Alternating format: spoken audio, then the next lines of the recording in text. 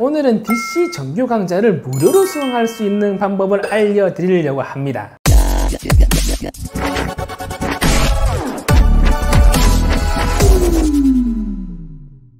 예, 안녕하세요. DC입니다. 오늘은 DC 정규 강좌를 무료로 수강할 수 있는 방법을 알려드리려고 합니다. 그 방법은 바로 평생교육 바우처.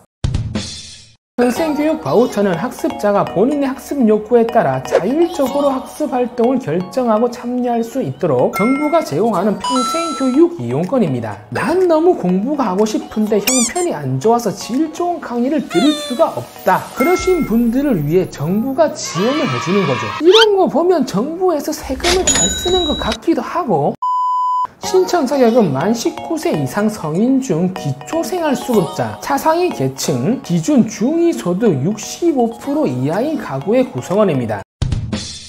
지원금은 연간 1인당 35만원. 1회 단발성이 아닌 매년 지원을 해주는 점도 좋은 것 같습니다. 신청 기간은 평생교육 바우처 홈페이지를 통해 별도 공지를 합니다. 상시가 아닌 점은 좀 아쉬운 점이긴 하지만 1년에 한두 번 정도 모집을 하는 것 같아요. 신청 방법은 평생교육 바우처 홈페이지에서 온라인으로 신청을 하시면 됩니다. 그러면 자격 심사 후 이용자를 선정합니다. 신청 결과는 바우처 홈페이지에서 로그인을 하신 후 신청 내역에서 확인할 수 수도 있고 신청 시 제출한 휴 대전화, 문자, 메시지 및 이메일 또는 서면 통지합니다. 선발 인원은 5천명 내외이고 나는 신청 자격이 부합이 되는데 미선정이 됐다. 그러면 이의 신청도 가능합니다. 선정이 되신 분들은 바우처 카드를 발급받으시면 됩니다. 카드 발급 방법은 H농협 영업점을 직접 방문하시던가 농협 홈페이지를 통한 온라인 신청도 가능합니다. 주의점은 영업점 방문 시 신분증 및 선정 안내 통지서를 지참하셔야 합니다.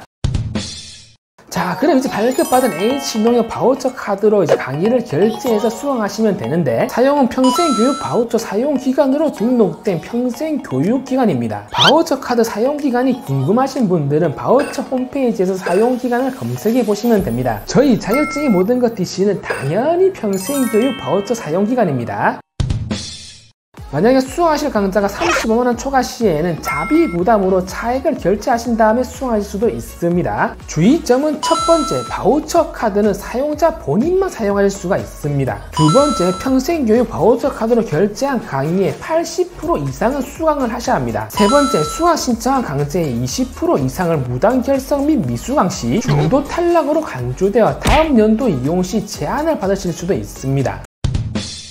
자 오늘 이렇게 해서 평생 교육 바우처 사업 이용 방법을 한번 알아봤습니다. 우선 정부에서 이런 중소득층을 위한 교육 사업을 매년 지원한다는 점은 정말 칭찬해 줄만 합니다. 대한민국 정부 살아있네 안 그래도 요즘 코로나19 때문에 경제도 어렵고 한데 이 기회에 신청하셔서 열심히 공부하신 다음 좀 더 좋은 스펙을 만드신 후 좋은 기업에 취업하시길 바랍니다. 제가 준비한 영상은 여기까지입니다. 여러분 가시기 전에 좋아요와 구독, 알림 설정까지 다들 한 번씩 해주시고 저는 다음에 더 유익한 영상으로 찾아뵙도록 하겠습니다.